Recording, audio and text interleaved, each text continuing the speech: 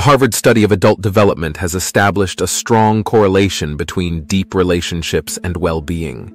The question is, how does a person nurture those deep relationships? This book is all about that.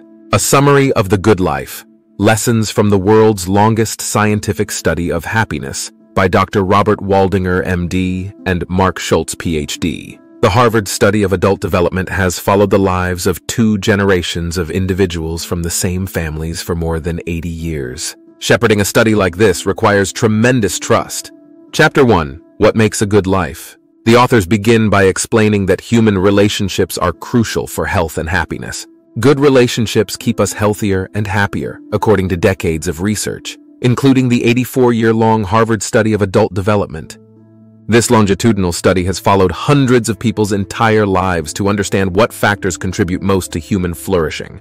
The study was started in 1938 with two separate groups, 268 Harvard sophomores and 456 disadvantaged teens from Boston's poorest neighborhoods. They have been studied ever since through questionnaires, medical records, and in-person interviews. The study has found that good relationships are the single most important factor for well-being more than money, fame, or success. Other major longitudinal studies have replicated these findings, showing that people with more social connections and social support are mentally and physically healthier into old age compared to those who are more isolated. But it's the quality, not quantity, of relationships that matters. You can feel lonely even when surrounded by others if the relationships lack warmth and intimacy. The authors explain that a good life means more than temporary pleasure or happiness.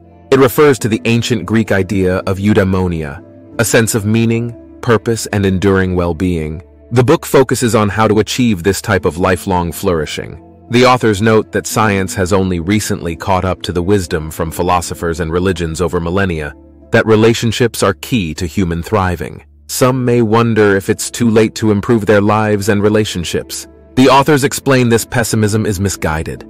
A change is always possible, and even small steps to be more connected can make a big difference. Our childhoods shape us but don't define our fate. The ways we cope with life can evolve across adulthood. The book shares specific insights that may be of help to you from the Harvard study and other research about how to navigate all types of relationships for greater health and happiness. From choosing a life partner wisely to dealing with family challenges to deepening friendships. The stories of real participants in the study over decades illustrate how these principles play out in actual lives over time. Robert Waldinger, MD, and Marc Schulz, PhD, aim to make the study's lessons practical and accessible to everyone, so that the wisdom gained from nearly a century of research can spread beyond academia and improve people's daily lives. The good life is within reach by making relationships a priority. Chapter 2. Why Relationships Matter. The Harvard study of adult development has revealed that positive relationships are the key to human happiness and well-being. Through an ongoing study of people's lives over decades, research has consistently shown that individuals who have more and higher quality social connections live longer, experience better physical health, and report higher life satisfaction. Relationships provide daily meaning, purpose, and joy. They are the very engine of a good life. Yet modern culture often directs our attention elsewhere, toward money, status, and achievement. There is an assumption that these things will make us happy, but scientific research demonstrates that they provide only a temporary boost to mood and satisfaction. Once basic needs are reliably met, having more money does not significantly improve emotional well-being. Lasting happiness arises from the web of personal relationships we nurture. Our brains have evolved over millennia to seek safety through social bonds. But in the complexity of modern life, we struggle to build strong relationships and communities. We underestimate the messiness yet overestimate the solitude benefits of being alone. We take our existing relationships for granted and focus intensely on more tangible rewards like making money and acquiring status symbols. But these kinds of rewards only provide momentary pleasure signals in the brain, while good relationships require consistent nurturing but provide enduring emotional sustenance. While life circumstances and demographics certainly influence well-being, Research consistently shows that strong social connections improve health and happiness for diverse individuals across lines of gender, ethnicity, geography, and more. With attention and effort, people have the power to cultivate happiness through relationships, despite whatever disadvantages they face. Even genetically inherited personality traits only account for about 50% of an individual's happiness variation. Our choices still matter, By strengthening our social bonds with others, we build the engine of a good life. Relationships are ends in themselves, not just means to otherwise isolated goals. They require continuous effort, but provide deep meaning and fulfillment. To steer ourselves toward happiness, we must first understand where we are now. Then, through small but consistent actions to improve our most important connections, we orient our lives toward lasting fulfillment. The rewards of material attainment provide only short-lived satisfaction, but the lived experience of relating to others is the very substance of happiness. By nurturing our social relationships with ongoing care and vulnerability, we craft lives brimming with significance.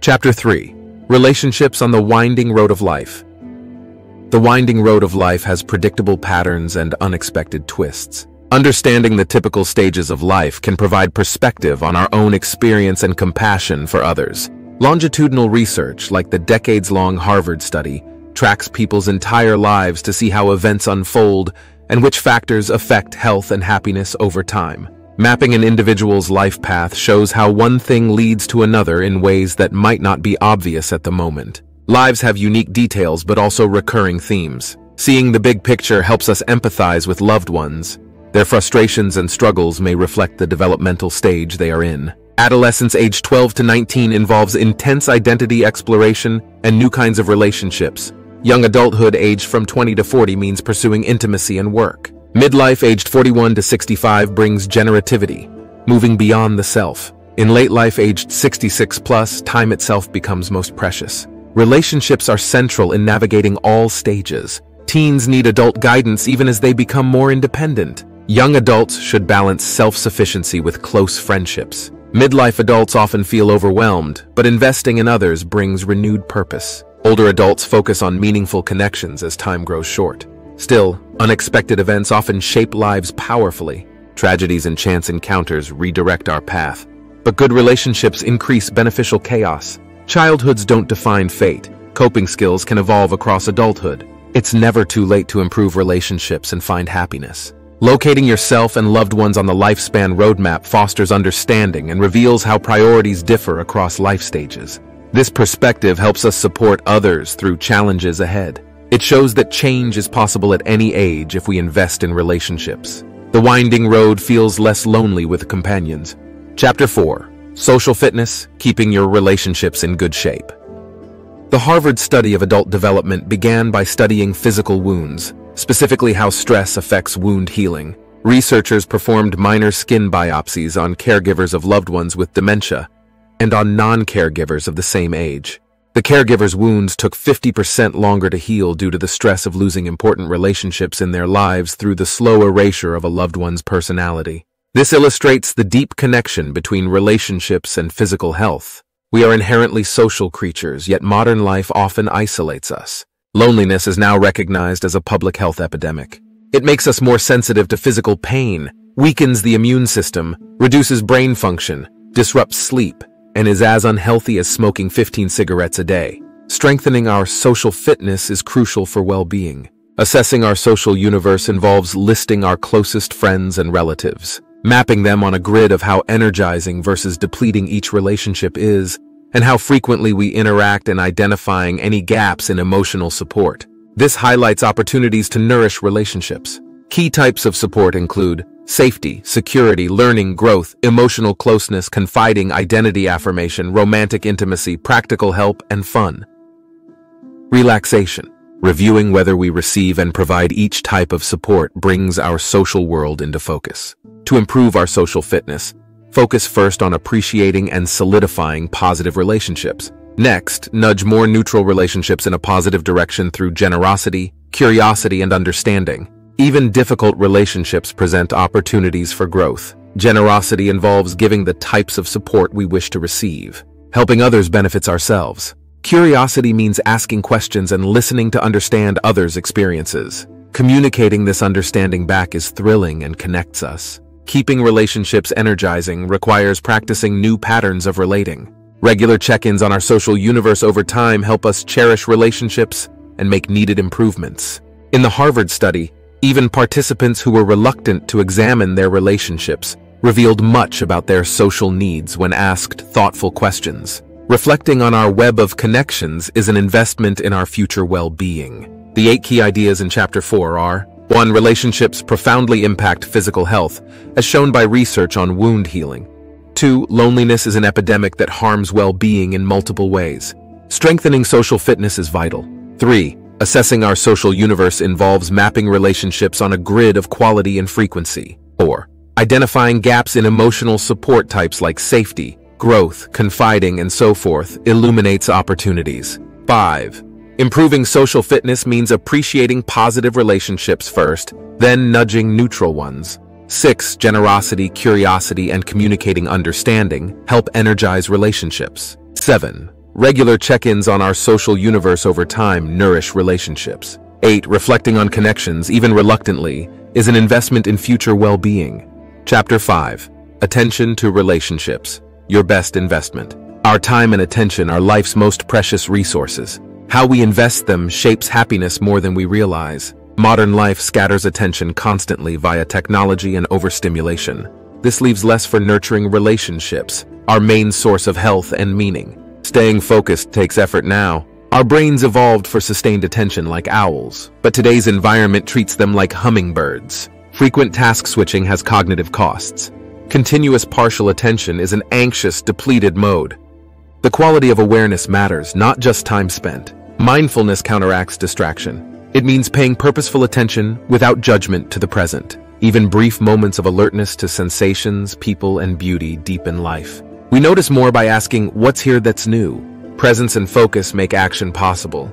With loved ones, attention means interest and effort to understand their experience. Empathic listening relieves loneliness and builds bonds. Curiosity about others' perspectives invigorates both people. Misunderstandings still happen, but trying to understand conveys caring. Regular social check-ins maintain long-term fitness. Reflection reveals relationships needing more time or attention.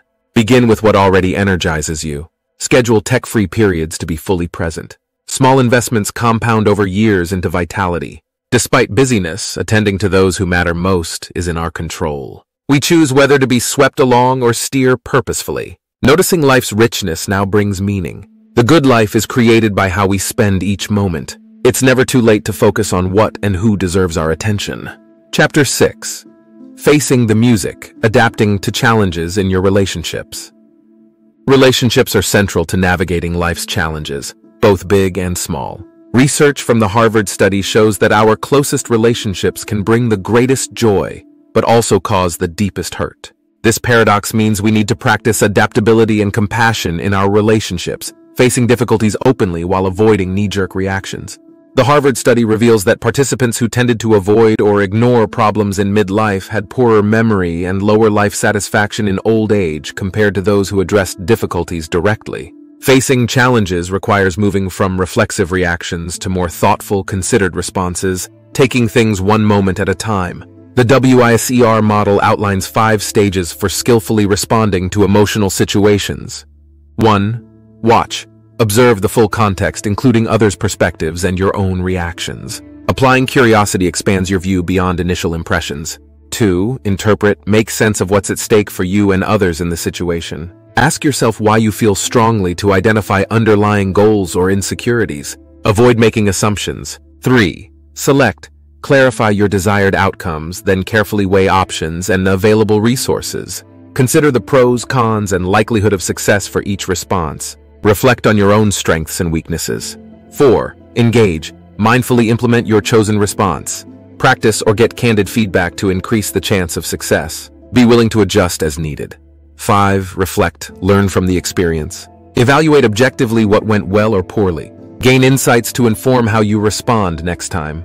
Chronic relationship problems can create a stubborn sense of stuckness. Examining your own patterns, getting an outside perspective from someone you trust and approaching each situation with beginner's mind can reveal possibilities you're unable to see. Relationships build resilience in the face of crisis. The Harvard study men relied heavily on the bonds they formed with each other during pivotal periods like the Great Depression and World War II. During the COVID-19 pandemic, meaningful human connections remained vital to well-being and mental health. In both global catastrophes and personal challenges, relationships anchor us, Facing the music requires accepting the risks inherent to intimacy. With compassion and adaptability, We can manage life's turbulent waves, riding them skillfully rather than feeling helpless. Each small effort to understand others and connect authentically plants seeds for greater health and fulfillment. Though human relationships are complex, they remain central to health and happiness. The Harvard study illuminates that our closest ties bring not only great joy, but also deep hurt. This paradox means we must practice flexibility, engage challenges with care, and choose thoughtfulness over reflexive reactions. If we can accept the risks of intimacy and approach relationships with wisdom, we gain resilience to navigate both global crises and personal troubles, emerging stronger. Chapter 7 The Person Beside You How Intimate Relationships Shape Our Lives. This chapter explores how intimate relationships shape our lives. Intimate connections, beginning with attachments in infancy, are essential for human development and well-being across the lifespan. Intimate attachment, the strange situation. Attachment theory proposes that infants form an emotional bond with primary caregivers. In infancy, close physical and emotional connections provide comfort and a secure base from which to explore. Attachment styles in childhood predict relationship patterns in adulthood. Securely attached infants seek contact when caregivers return, are soothed, and can return to play. Anxious infants seek contact but are not easily soothed. Avoidant infants do not openly express distress and may turn away when caregivers return. In adult relationships, secure attachment provides a refuge from stress. Anxiety and avoidance in adult attachments often stem from fears of being dependent or driving others away. Mutual vulnerability strengthens attachment security. Empathy and affection build relationship bonds, nurturing a bedrock of empathy and affection. Observing and accurately interpreting emotions in couple interactions predicts later relationship stability. Expressions of empathy and affection are especially important. Empathy shows interest in a partner's feelings. Affection provides relationship warmth. This emotional bedrock helps couples weather challenges. A fear of differences. Relationship conflicts often result from differences between partners. Judging a partner's differences as deficiencies can damage relationships. Disagreements present opportunities to understand each partner's vulnerabilities and needs. Reflective listening and trying to understand a partner's perspective can resolve conflicts. Mutual understanding relieves stress and brings partners closer. The enduring influence of intimate partnerships. Satisfaction in intimate relationships fluctuates across the lifespan. Having children often decreases couple satisfaction. When children leave home, couples often experience an empty nest boost in satisfaction. In old age, secure attachment to a partner benefits well-being and health. Relationships requiring high levels of intimacy and companionship carry heavy expectations today. Partners alone cannot fulfill every need. Maintaining other interests and relationships prevents overburdening intimate partnerships. Though intimate relationships take diverse forms, human needs for closeness persist. Facing challenges together, with empathy, affection, and understanding, allows partners to gain strength from their union and live more fully. Chapter 8. Family Matters. Call it a clan, call it a network, call it a tribe, call it a family. Whoever you are, you need one. Families are important. They shape who we become as adults. Researchers studied families in Hawaii starting when the children were born in 1955. They followed them for over 30 years. They found that children who had difficult childhoods were more likely to have problems as adults. But some children did well even with tough childhoods. One reason was having at least one caring adult in their life. The Harvard study has followed families for many decades. Researchers visited participants' homes when they were kids. They rated how warm and supportive their families were. Many years later, when participants were elderly, researchers interviewed them about their marriages. Men who had closer families as boys were more likely to have good marriages as old men. Early life affects us but does not doom us. Later experiences can change us too. Finding the right partner can help correct bad assumptions from childhood. So can therapy. We can open ourselves up to new positive experiences at any age. Neil McCarthy had a very positive childhood at first. His parents were kind and loving. But when Neil was a teenager, his mother started drinking too much. His parents fought violently. The happy home fell apart. Neil left home at 19 to join the army. Later, he met his wife, Gail. He worked hard to give his own kids a stable home, unlike his turbulent teens. But one daughter, Lucy, struggled with depression and addiction. Neil and Gail gave her support and space to work through her challenges. Neil wondered if he was to blame, but no parent can control how their child turns out. He focused on giving Lucy love. All families have ups and downs. Roles change as we age. Keeping bonds strong takes effort. Little arguments can drift into big distance. Regular contact helps. Special events, meals, calls. Social media can connect far-flung families. In person is best. Ask questions and share stories to learn family history. There is treasure in every member's memory. The most important thing is to face problems with flexibility, not avoidance. Don't let the past trap you. Stay open to surprises from family. The time we have together is limited. Make the most of it with care. Chapter 9. The Good Life at Work. Investing in Connections. The Harvard study on adult development found that positive relationships at work are crucial for happiness and fulfillment, regardless of the type of job. Many participants who held prestigious high-paying jobs were unhappy, while others with blue-collar jobs found great satisfaction through connections with coworkers. Work occupies a major portion of most people's lives. In the United Kingdom, the average person will spend 13 years at work by age 80, compared to 9,500 hours with a partner. We often view work as separate from real life, struggling to balance the two. But work relationships significantly impact our well-being and home life. Difficult workdays lead to negative emotions that spill over into personal relationships. One study found rough workdays linked to more anger in women and emotional withdrawal in men at home. We may think we leave work at work, but emotions carry over unconsciously. Acknowledging feelings without judgment, rather than ignoring or suppressing them, can alleviate this spillover effect. At work, loneliness from lack of connection raises mortality risk as much as smoking. Solitary jobs like driving trucks heighten isolation, but even social jobs can be lonely without meaningful co-worker relationships. People with a close friend at work have higher engagement. We must sometimes intentionally cultivate connections to maximize well-being. Mentor relationships allow sharing wisdom and enjoying others' energy. Mentoring provides the satisfaction of being generative, which makes work more rewarding. Power imbalances can corrupt relationships, but avoiding connections also leads to loneliness. Facing difficulties directly may preserve valuable ties. Major work transitions require reassessing effects on relationships. Upon retirement, replaced social connections provide new sources of meaning and purpose. Staying engaged counters the loss of mattering that comes with leaving work. Technology is changing work's social nature through remote work, automation, artificial intelligence, and always-on expectations. The impact on mental health and relationships needs consideration. In-person interactions lost to remote work may profoundly affect well-being despite conveniences. To thrive amidst workplace changes, we must tend to our core relationships. Subtle social currents that support well-being are easily overshadowed. We must consciously elevate and care for them, asking questions like, who do I appreciate at work? What connections am I missing?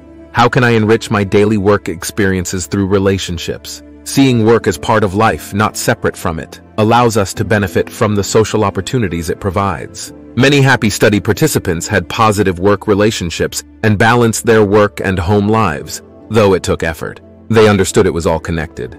We don't leave our lives at the office door. Every workday presents chances to enrich life through relationships. Chapter 10. All friends have benefits. Friends are one of the most important relationships in our lives. They provide companionship, support, and joy. Aristotle said that without friends, no one would choose to live. Research shows that good friendships improve our health and help us live longer. Friends reduce stress and help us cope during difficult times. The Harvard study found that men who had strong bonds with fellow soldiers during war were less likely to develop PTSD. Friendships change throughout our lives as we move through different stages. Adolescents make intense friendships built on sharing feelings and secrets. New parents connect over the challenges of raising children. Retirees often lose touch with work friends and have to actively rebuild their social circles. We need different types of friends at different times. Casual friendships are also beneficial. Brief, friendly interactions with strangers or acquaintances give us small mood boosts throughout the day. These weak ties also connect us to more diverse social networks and information. However, friendships take effort. As we get busier, maintaining them falls lower on our priority list. But neglecting friends leads to loneliness later in life. Both men and women in the study expressed regret over letting their friendships lapse. To maintain strong friendships, be curious about your friends' lives, listen to them, and share intimate thoughts. Repair rifts when you can. Develop new shared interests to avoid stagnation. Casual ties matter too. Greet your mail carrier or chat with the barista. These brief uplifts accumulate. And it's never too late to expand your social circle. Andrew Deering, one of the most isolated men in the study, made his first real friends at age 68 by joining a health club. Within months, he went from having no social life to seeing friends daily. He rediscovered joy, even though he still felt lonely at times. As long as we're alive, it's not too late to reach out. Conclusion. It's never too late to be happy. The Harvard study has followed participants for over 80 years, providing insights into what makes for a happy and fulfilling life. Two participants, Henry Keane and Leo DeMarco, joined the study as teenagers in the 1940s and grew into engaged, healthy older men with positive outlooks. Another participant, John Marsden's pseudonym despite privileges like wealth and education, developed a tendency toward negativity and had trouble connecting with others. The study shows it's never too late to make positive changes, no matter your age or circumstances. Simply reflecting on your life and asking honest questions about yourself is an important first step.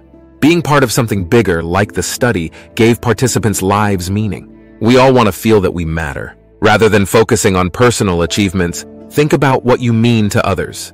This is how to leave a lasting mark. Good relationships keep us happier, healthier, and help us live longer. This has proven true across cultures.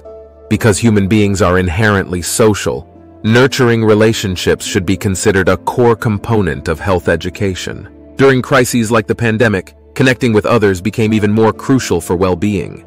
To move toward a good life, recognize it's the journey itself and the people walking it with you that matter most. Make thoughtful connections with family, friends, co-workers, and even strangers. Show appreciation to important people in your life while you have the chance. A good life emerges from learning to love and accept love from others. Please give this video a thumbs up so that we can spread this information to others who share our same interests or circumstances. Be a helper. There you have it. Take care of yourself and your health. Please subscribe to my channel Culinary Physics if you haven't subscribed yet and let's grow together as a community. Thanks for watching to the end, and I'll see you in the next video.